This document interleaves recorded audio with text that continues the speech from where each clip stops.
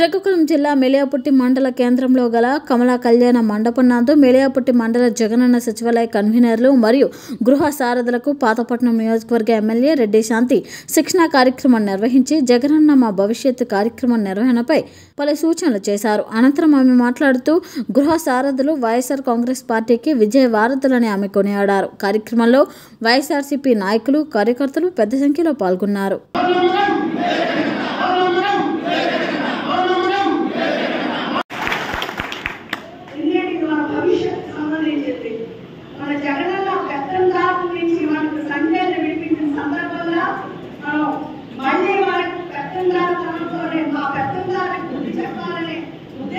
ఉండాలి